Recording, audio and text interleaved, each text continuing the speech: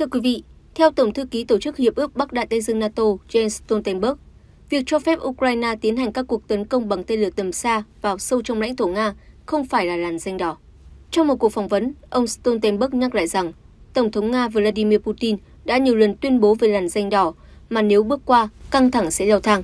Tổng thư ký sắp mãn nhiệm của NATO ủng hộ các nước thành viên đồng ý cho Ukraine sử dụng tên lửa tầm xa tấn công sâu vào lãnh thổ Nga, nhấn mạnh rằng nếu điều này xảy ra sẽ không kéo liên minh quân sự vào cuộc xung đột với Moscow.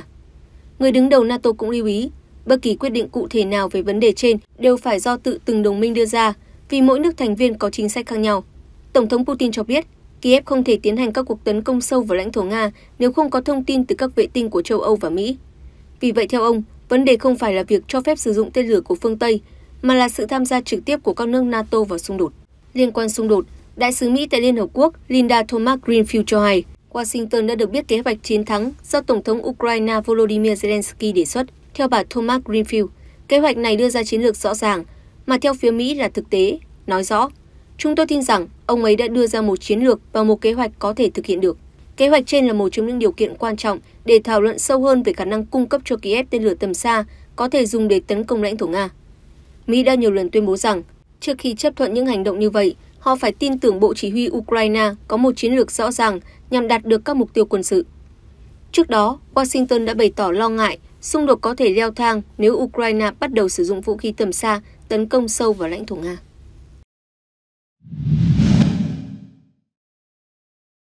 Trả lời phỏng vấn tạp chí chính sách đối ngoại của Mỹ, ông Stoltenberg khẳng định NATO sẽ không trở thành một bên trong cuộc xung đột tại Ukraine, ngay cả khi các quốc gia thành viên cho phép Ukraine sử dụng vũ khí do phương Tây cung cấp để tấn công lãnh thổ Nga. Ông cũng nói thêm rằng NATO theo dõi chặt chẽ những gì Nga đang thực hiện trong thế trận hạt nhân của mình. Cùng ngày, Đại sứ Nga tại Liên Hợp Quốc Vasily Nebenzia nhấn mạnh lập trường trước đó của Tổng thống Vladimir Putin rằng các nước NATO hiện không chỉ thảo luận về việc có nên cho phép Ukraine sử dụng vũ khí tầm xa do phương Tây sản xuất, mà về cơ bản là quyết định xem có nên trực tiếp tham gia vào cuộc xung đột ở Ukraine hay không. Ông Nebenzia đồng thời cảnh báo Nga sẽ đưa ra quyết định dựa trên các mối đe dọa với quốc gia. Diễn biến tiềm tàng này có thể thay đổi căn bản mối quan hệ giữa Nga và phương Tây nếu quyết định dỡ bỏ lệnh hạn chế vũ khí thực sự được đưa ra hoặc sẽ được đưa ra. Điều đó có nghĩa là từ thời điểm đó, các nước NATO sẽ bắt đầu chiến tranh trực tiếp với Nga. Trong trường hợp này, như các bạn, chúng tôi sẽ phải đưa ra các quyết định có liên quan tới tất cả những hậu quả mà phương Tây sẽ phải gánh chịu. Việc sử dụng các loại vũ khí như vậy chỉ có thể thực hiện được nếu bạn có quyền truy cập vào dữ liệu tình báo từ vệ tinh của Mỹ và Liên minh châu Âu. Điều này Ukraine không thể làm được. Kể từ khi xung đột giữa Nga và Ukraine nổ ra hồi tháng 2 năm 2022, phương Tây đã có những hạn chế đối với việc sử dụng vũ khí của Ukraine để tấn công sâu vào lãnh thổ Nga. Nguyên nhân chủ yếu là lo ngại khả năng leo thang căng thẳng giữa các cường quốc Tuy nhiên, thời gian gần đây có nhiều dấu hiệu cho thấy sự thay đổi đang diễn ra. Anh đã quyết định cho phép Ukraine sử dụng tên lửa Storm Shadow để tấn công Nga. Tờ Politico của Mỹ cũng đưa tin rằng Nhà Trắng đang thảo luận về việc cho phép Ukraine sử dụng vũ khí tầm xa để tấn công các mục tiêu cụ thể. Quyết định chính thức vẫn chưa được công bố. Tuy nhiên, theo các nguồn tin, cuộc họp của Đại hội đồng Liên Hợp Quốc tại New York vài ngày tới có thể sẽ đánh dấu bước ngoặt quan trọng. Việc dỡ bỏ các hạn chế về sử dụng vũ khí cho Ukraine từ lâu đã là vấn đề gây chia rẽ giữa các nước phương Tây. Thủ tướng Đức Olaf Scholz hồi tuần trước tuyên bố sẽ không cho phép Ukraine sử dụng vũ khí do nước này cung cấp để thực hiện các cuộc tấn công tầm xa, ngay cả khi các quốc gia khác quyết định làm như vậy. Trong khi đó, lập trường của Pháp khá mơ hồ. Tổng thống Emmanuel Macron hồi tháng 5 vừa qua tuyên bố Pháp nói chung sẽ không phản đối việc sử dụng tên lửa như vậy. Theo chuyên gia Neya Visimaya Gadreta của Nga, các quan chức phương Tây dường như hiểu rõ rằng các cuộc tấn công sâu vào Nga không chỉ bằng máy bay không người lái mà bằng bất kỳ loại vũ khí nào do NATO cung cấp đều sẽ thay đổi hoàn toàn bản chất của cuộc xung đột. Mỹ cũng đang chờ đợi cuộc bầu cử tổng thống vào ngày 5 tháng 11 tới, một sự kiện quan trọng trong đời sống chính trị Mỹ. Hai ứng cử viên cho chiếc ghế ở Nhà Trắng, bà Kamala Harris và ông Donald Trump, dường như có những ý tưởng khác nhau về cách chấm dứt xung đột Nga-Ukraine. Thưa quý vị, tại Hội nghị an ninh ở Trung Quốc ngày 13 tháng 9, Thứ trưởng Quốc phòng Nga Alexander Fomin tuyên bố Nga có kinh nghiệm độc đáo trong việc chống lại nhiều loại vũ khí phương Tây ở Ukraine và sẵn sàng chia sẻ kinh nghiệm này với các đối tác. Cụ thể, tại buổi họp báo, Thứ trưởng Quốc phòng Nga cũng chia sẻ thêm về chiến dịch quân sự của Nga ở Ukraine đã tái tạo chiến tranh hiện đại và cho thấy vũ khí của Nga có khả năng đánh bại vũ khí phương Tây. Mỹ, Anh bàn về tên lửa tầm xa. Ông Fomin đưa ra tuyên bố trên trong bối cảnh phương Tây đã gửi cho Ukraine những loại tên lửa tầm xa như ATACMS và Storm Shadow SCALP. Cho đến nay, Kiev chỉ dùng những tên lửa này để chống lại lực lượng Nga ở bán đảo Crimea và vùng Donbass thuộc miền đông Ukraine, theo nguồn tin thân cận. Tuy nhiên, tờ The New York Times ngày 12 tháng 9 dẫn lời các quan chức châu Âu cho rằng Tổng thống Mỹ Joe Biden dường như sắp cho phép Ukraine dùng tên lửa tầm xa do phương Tây cung cấp để tấn công sâu vào trong lãnh thổ Nga, miễn là không sử dụng ATACMS do Mỹ gửi. Vấn đề này sẽ được thảo luận trong chuyến thăm đầu tiên giữa Washington DC của Thủ tướng Anh Keir Starmer vào ngày 13 tháng 9 theo giờ Mỹ. Anh đã ra hiệu với Mỹ rằng London muốn cho Kiev dùng Storm Shadow SCILP do Anh và Pháp cùng phát triển để tấn công các mục tiêu quân sự bên trong lãnh thổ Nga, nhưng muốn có sự cho phép rõ ràng từ Tổng thống Biden nhằm thể hiện một sự chiến lược phối hợp với Mỹ và Pháp. Giới chức Mỹ tiết lộ rằng ông Biden vẫn chưa đưa ra quyết định, nhưng sẽ nghe ông Stemmer trình bày vào ngày 13 tháng 9. Theo tờ New York Times, nếu được chấp thuận, quyết định cho phép Kiev dùng tên lửa tầm xa do phương Tây cung cấp để tấn công sâu vào lãnh thổ của Nga có thể sẽ giúp lực lượng Ukraine giữ vững vị trí sau khi chiếm lãnh thổ Nga như họ đã làm trong cuộc tấn công vào tỉnh Kursk của Nga hồi tháng trước. Tuy nhiên, ông Biden đã do dự không cho phép Ukraine sử dụng vũ khí Mỹ để tấn công đất Nga, đặc biệt là sau cảnh báo từ các cơ quan tình báo Mỹ rằng Nga có thể đáp trả bằng cách hỗ trợ Iran nhằm mục tiêu vào lực lượng Mỹ ở Trung Đông. Cảnh báo mới từ ông Putin trong khi đó, Tổng thống Nga Vladimir Putin ngày 12 tháng 9 khẳng định Ukraine không có khả năng sử dụng các hệ thống vũ khí tầm xa do phương Tây cung cấp, theo RT. Ông lưu ý rằng những cuộc tấn công sử dụng vũ khí như thế đòi hỏi Ukraine phải có thông tin tình báo từ cấp vệ tinh NATO, trong khi dữ liệu cần thiết cho việc khai hỏa có thể chỉ được cung cấp bởi quân nhân NATO. Ông Putin cảnh báo rằng nếu quyết định cho phép Ukraine dùng vũ khí tầm xa của phương Tây tấn công lãnh thổ Nga được thực hiện, điều đó đồng nghĩa với các nước NATO đang tham gia trực tiếp cuộc xung đột ở Ukraine. Đại đế Putin nhấn mạnh sự tham gia trực tiếp của họ đương nhiên làm thay đổi lớn cho bản chất xung đột, do đó Nga sẽ đưa ra các quyết định phù hợp dựa trên mối đe dọa mà chúng tôi đối diện. Thượng nghị sĩ Ven, phó tướng của cựu Tổng thống Mỹ Donald Trump trong cuộc đua vào Nhà Trắng năm nay, vạch ra kế hoạch đàm phán hòa bình nhằm chấm dứt cuộc xung đột Nga-Ukraine. Thượng nghị sĩ bang Ohio Ven tuyên bố, ông Donald Trump có một đề xuất cụ thể nhằm chấm dứt xung đột Nga-Ukraine, người đồng hành trong chiến dịch tranh cử của ông. Ông Trump đã nhiều lần nói rằng ông sẽ chấm dứt cuộc chiến trong vòng 24 giờ nếu đắc cử. Gần đây nhất là tại cuộc tranh luận vào hôm thứ Ba với Phó Tổng thống Kamala Harris, ứng cử viên Đảng Dân Chủ kế nhiệm Tổng thống Joe Biden. Trong một cuộc phỏng vấn trên Postcard, ông Ven nói với cựu hải quân Hoa Kỳ Seal và nhà thầu CIA Sarian rằng để kết thúc chiến tranh, bạn cần một người mà trước hết mọi người đều khiếp sợ. Bạn cần phải lo lắng rằng nếu Donald Trump hay Kamala Harris nói điều gì đó thì họ thực sự có ý đó. Nhưng bạn tin điều đó với Donald Trump, bạn không tin điều đó với Kamala Harris, đó là sự gian đề. Khi được hỏi về đề xuất hòa bình của ông Trump sẽ như thế nào, ông Ven đã phát thảo một kịch bản mà ông cho là có thể xảy ra. Ukraine sẽ giữ được độc lập và chủ quyền, nhưng Nga nhận được sự đảm bảo về tính trung lập từ Ukraine, nước này không tham gia vào NATO, hoặc các tổ chức tương tự khác, ông Ven nói. Trong khi đó, việc tái thiết Ukraine sẽ phải được tài trợ chủ yếu bởi Đức và các nước EU, những nước mà ông Ven cho là đã bảo lãnh cho nỗ lực chiến tranh của Kiev. Ông Ven nói rằng ở Nga, họ sợ ông Trump. Châu Âu lo lắng vì ông ấy, bởi ông thực sự nghiêm túc với những gì ông nói. Theo ông Ven, Moscow, Kiev và EU đều muốn xung đột chấm dứt, nhưng giao tranh vẫn tiếp diễn vì ông Biden ngủ quên sau tay lái, còn bà Harris không biết đang làm gì. Phó tướng Đảng Cộng hòa nói thêm, chính sách của họ là ném tiền vào vấn đề này, hy vọng người Ukraine có thể đạt được chiến thắng quân sự, mà ngay cả người Ukraine cũng nói rằng chúng tôi không thể đạt được. Sau đó trong chương trình, Ven cho biết, ông chán ngấy việc lãng phí mạng sống của người Mỹ để làm cảnh sát của thế giới và gọi chính sách hiện tại của Mỹ đối với Nga là ngông nghếch. Ông Ven đã phản đối việc Mỹ tiếp tục tài trợ cho nỗ lực chiến tranh của Ukraine.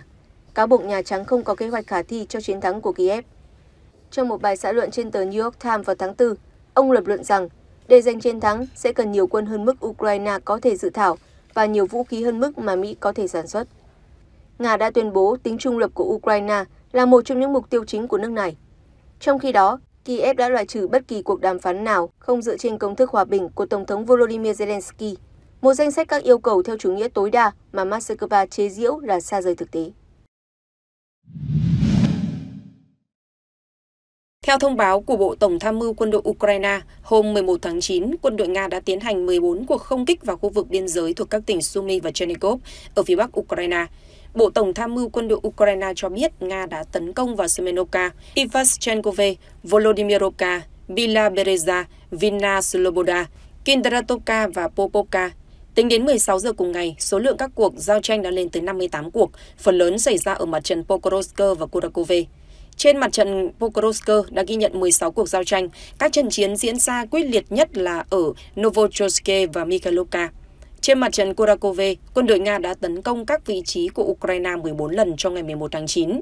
Quân đội Nga đã cố gắng tiến vào khu vực Konstantinovka, Ukranka và Kerorivka. Nga cũng đã thực hiện 9 cuộc tấn công ở mặt trận Liman nhắm vào Makovka, Neveske, Tereny, Grekoka, Druzhelyovka và Tvedolibove, đồng thời tấn công các vị trí của Ukraine trên mặt trận Kupiansk 6 lần. Tại mặt trận Kursk, lực lượng vũ trang Nga đã giành lại một số khu định cư mà Ukraine đã kiểm soát và tiếp tục tiến công trên một vùng lãnh thổ rộng lớn. Quân đội Nga đã có thể thiết lập quyền kiểm soát trên một khu vực rộng khoảng 150 km vuông. Lực lượng vũ trang Nga đang tích cực tiến hành các hoạt động tác chiến, tiến gần đến Severodolikovo, sát Suza, nơi Moscow đang chuẩn bị cho cuộc tấn công quyết định vào các vị trí của lực lượng vũ trang Ukraine. Cuộc phản công của quân đội Nga ở khu vực Kursk bắt đầu sau quá trình chuẩn bị nghiêm túc và các hoạt động tích cực nhằm giành lại các vùng lãnh thổ mà các đơn vị Ukraine đang kiểm soát ở một số khu định cư biên giới. Trong ngày qua, một số khu định cư quan trọng đã được Nga giành lại, cho phép họ tiến công và chiếm được các vị trí chiến lược quan trọng. Phó Tổng cục trưởng Tổng cục Quân sự Chính trị thuộc lực lượng vũ trang Nga, kiêm chỉ huy lực lượng đặc nhiệm Akhmat, Thiếu tướng Abdi Alaudinov vào hôm 11 tháng 9 tuyên bố, quân đội Nga đã giành lại 10 khu định cư ở Kursk, theo tướng Nga, quân đội Ukraine đang phải chịu tổn thất nặng nề và bắt đầu nhận ra rằng việc giữ vững vùng lãnh thổ này sẽ không phải là chuyện dễ dàng. Cùng ngày, Bộ Quốc phòng Nga xác nhận các đơn vị của nhóm tác chiến phía Bắc được không quân và pháo binh hỗ trợ đã đẩy lùi cuộc phản công của lực lượng Ukraine vào khu định cư Apasnovska. Quân đội Nga cũng đã ngăn chặn các nỗ lực tấn công của Ukraine vào các khu định cư Cherkasskaya, Konopenka, Boroki và Fanaseyevka. Nga tuyên bố 10 quân nhân Ukraine đã bị bắt trong ngày. Máy bay chiến đấu của Nga tấn công các khu tập trung quân Ukraine ở vùng Sumy của Ukraine, nơi giáp biên giới Nga.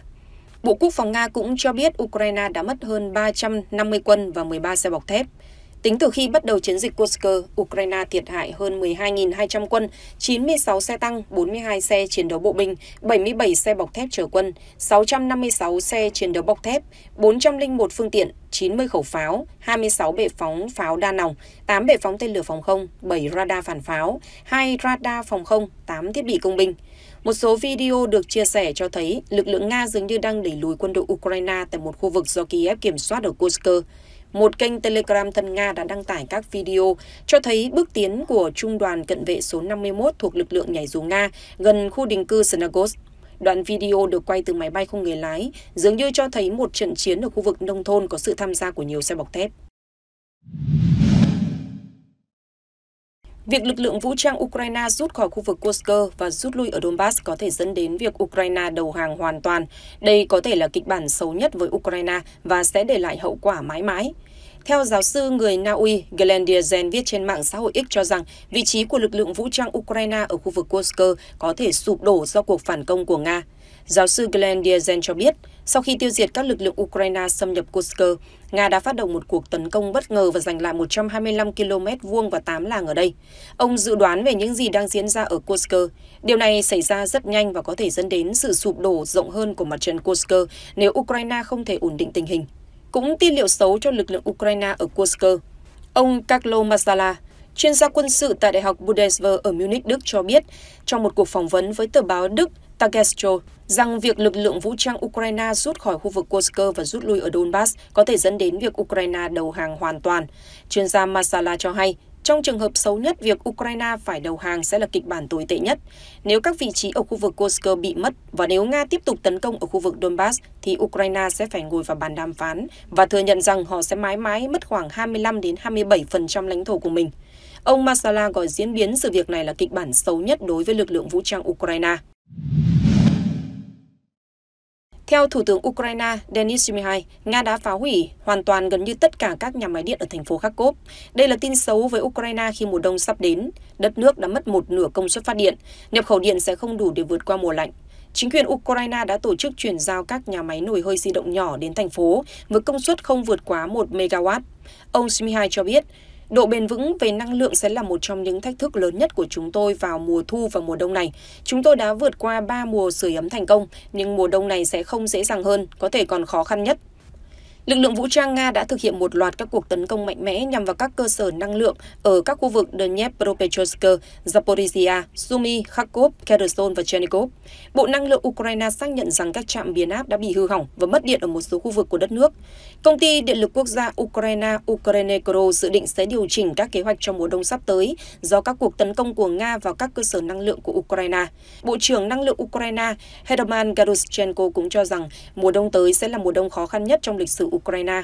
Theo ông Galushchenko, đất nước đã mất một nửa công suất phát điện, nhập khẩu điện sẽ không đủ để vượt qua mùa lạnh. Việc cắt điện luân phiên có thể kéo dài thêm 2 hoặc 3 năm nữa, do đó hệ thống năng lượng của Ukraine sẽ chỉ được khôi phục vào năm 2027-2028. Thông tin vừa rồi đã khép lại chương trình của chúng tôi ngày hôm nay. Những thông tin mới nhất sẽ được chúng tôi liên tục cập nhật trong các chương trình bản tin và tin tức thời sự hàng ngày. Cảm ơn sự quan tâm theo dõi của quý vị. Xin chào và hẹn gặp lại. Thank you.